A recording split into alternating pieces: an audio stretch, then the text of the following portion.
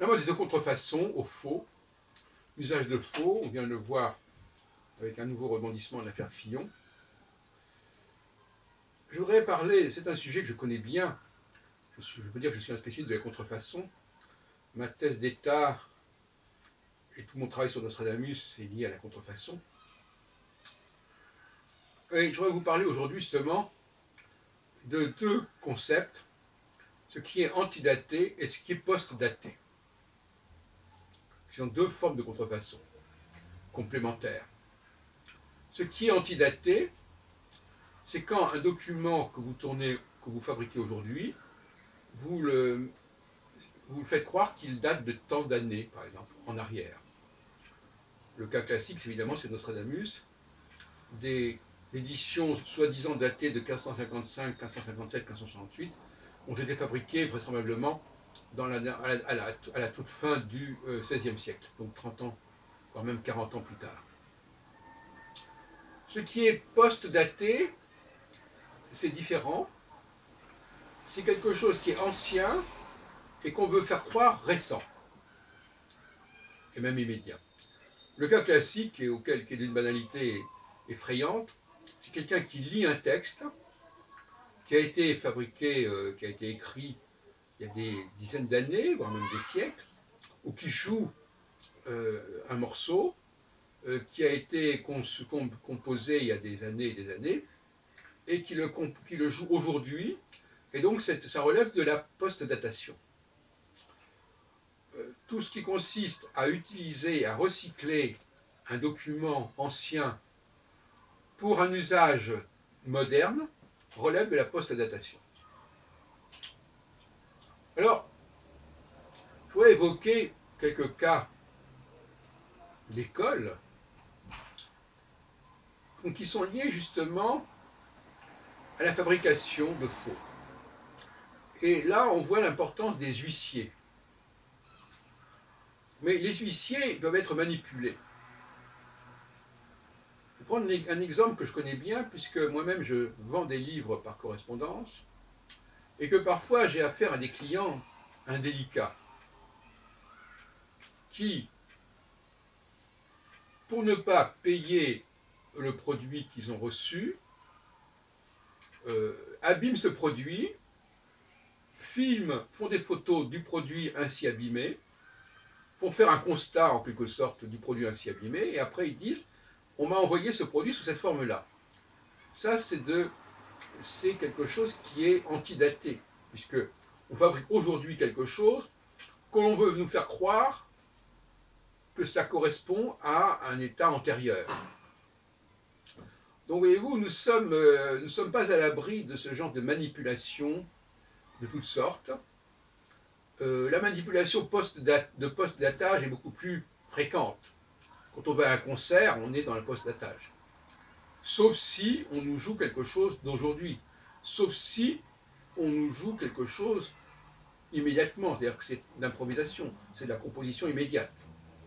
Comme par exemple un peintre qui ferait une peinture devant nous, ou une sculpture devant nous, on est dans l'immédiat. Maintenant, euh, s'il nous montre une œuvre qu'il a faite avant, bon, cette œuvre, on ne sait pas euh, d'où elle sort, euh, de quand elle date exactement, si ce n'est ce qu'on nous en dit. Et moi, j'ai toujours beaucoup de euh, réticence par rapport à ce qu'on nous en dit. L'autre jour, je faisais une vidéo sur cette question-là à propos de la langue, au niveau de la synonymie. On nous dit tel mot veut dire la même chose que tel autre mot. On nous dit cela, mais quand on regarde les mots, on voit bien qu'ils sont différents, qu'ils ont des origines différentes. Donc, qu'est-ce que ça veut dire qu'on nous dit que c'est la même chose? Donc, on est comme ça dans. on, nous raconte des choses, on nous raconte des histoires, on nous fait croire quelque chose, et euh, nous sommes actuellement dans une période où cette question de la contrefaçon se pose de plus en plus. Mais les gens croient que parce qu'on leur montre une photo, euh, ça correspond à une réalité. Oui, ça correspond à une réalité, mais à quelle date cette photo? La datation d'un document est absolument fondamentale. C'est pas parce qu'un document euh, nous est présenté aujourd'hui qu'il est, est d'aujourd'hui. C'est pas parce qu'un document vous est présenté d'hier qu'il est d'hier. tout ça doit être vérifié, contrôlé. Donc il y a une science de la contrefaçon, de la supercherie, supercherie littéraire par exemple, de tout ce qui de l'imposture à toutes sortes de niveaux, qui doit être développée et qui sera certainement développée au XXIe siècle, mais qui pose le problème euh, de, euh, la, de la technologie. Parce que la technologie, on sait très bien qu'on peut fabriquer du faux avec du vrai, du vrai avec du faux. On a vu des.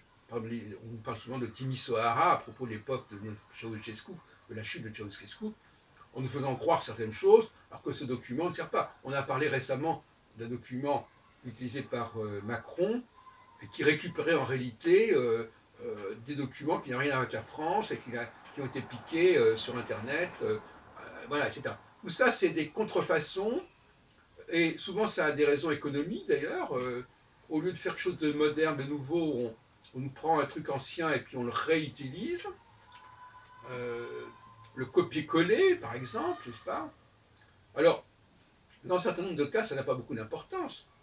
Mais dès lors qu'on commence à argumenter sur le fait que le produit est authentique, que le produit est bien de telle et telle époque, là, il faut faire une investigation.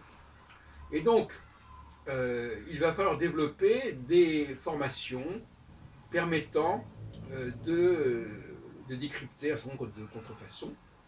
Et on ne peut pas, à mon avis, être historien des textes, en tout cas, euh, si on n'est pas capable de, si on n'a pas une certaine formation au niveau de, des contrefaçons. On sait qu'il y a des tas de documents historiques qui sont des contrefaçons. Et il faut savoir. Bon. Et puis, il y a aussi, bien entendu, euh, euh, les Écritures, la Bible, l'Ancien Testament, le Nouveau Testament. Quelle est la part de la contrefaçon dans ces documents-là? Il ne s'agit pas de savoir si ces documents sont authentiques ou pas.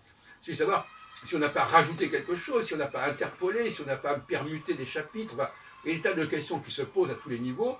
L'approche critique est une approche qui est censée justement euh, mettre en évidence les contrefaçons, les rajouts, les additions, les suppressions, etc. Et il me semble que les gens qui ont été formés au cours des dernières décennies n'ont pas la formation adéquate. Et moi, j'ai mes travaux, euh, à mon avis, sont exemplaires, mes travaux de thèse sont exemplaires par rapport à cette question de contrefaçon. Même dans le cas linguistique, on a des contrefaçons.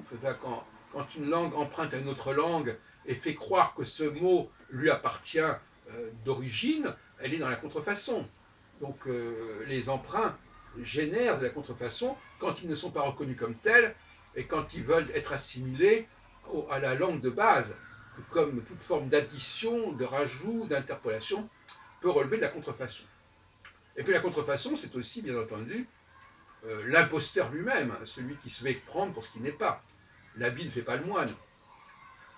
Je terminerai sur cette petite euh, réflexion, à savoir que euh, quand les gens sont dans des revendications égalitaires, on peut être tenté par la contrefaçon.